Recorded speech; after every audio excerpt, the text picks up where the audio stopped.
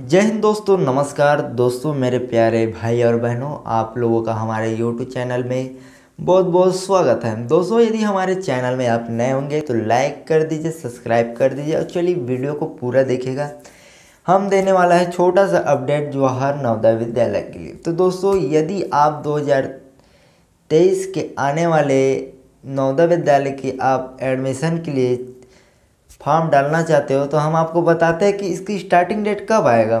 पिछले हम यदि 2000 अभी 22 की बात करें सॉरी 2021 की बात करें तो 2021 के सितंबर में इसका अप्लाई फॉर्म आया था। नवोदय विद्यालय जवाहर नवोदय विद्यालय जे एन वी कहा जाता है शॉर्टकट में। तो छठवीं और छठवीं क्लास के लिए हम बात कर रहे हैं। नौवीं वालों का स्पेशल अलग से वीडियो बताएँगे।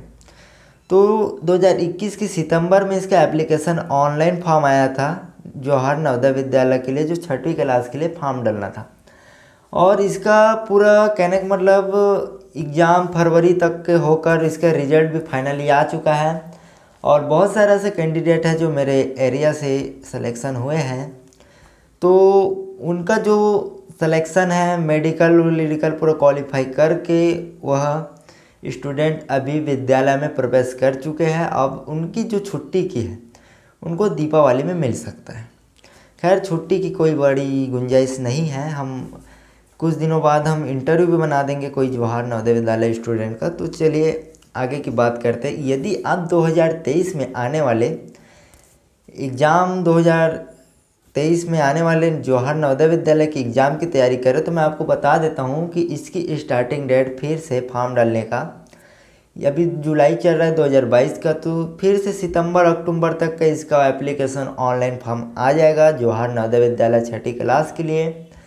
तो जितने भी हमारे छोटे छोटे भाई और बहनों हैं जो छठी क्लास के लिए तैयारी कर रहे हैं जवाहर नवोदय विद्यालय के लिए तो मैं आपको ज़रूरी सूचना दे दूँ कि इसका जो स्टार्टिंग डेट है, वह स्टार्टिंग डेट आपका ये 2022 के सितंबर से अक्टूबर तक का आ जाएगा। फिर से इसका जो और अक्सर हर साल यही होता है कि जवाहर नवोदय विद्यालय हो या सैनिक स्कूल हो या सेंट्रल हिंदू स्कूल हो, इनका सितंबर, अक्टूबर तक का फॉर्म डालने का स्टार्टिंग डेट आ जाता है। और अगले ईयर्स के दो पहले से दूसरे महीने, यानी जनवरी, फरवरी तक इसका एग्ज़ाम क्वालिफाई हो जाता है। मार्च, अप्रैल तक इसकी रिज़ल्ट आकर जून, जुलाई तक का इनका फाइनली मेडिकल होकर क्लास में प्रवेश कर लेते हैं।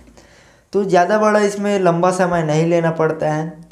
कोई दिक्कत वाली बात नहीं है। जवाहर नवोदय विद्यालय की यदि आप तैयारी कर रहे हो, पाँचवीं क्लास में हो अभी और छठवीं क्लास में आपको प्रवेश करना है तो आप इसका सितंबर, अक्टूबर तक का फॉर्म डाल सकते हो और इस अच्छे से इसका एक ट्यूशन व्यूशन लेकर या यूट्यूब के माध्यम से आप इसकी तैयारी कर सकते हो। यदि आपको यूट्यूब में अच्छे से तैयारी करना है नवोदय विद्यालय के लिए तो पंचू नवोदय क्लासेस का एक यूट्यूब चैनल है।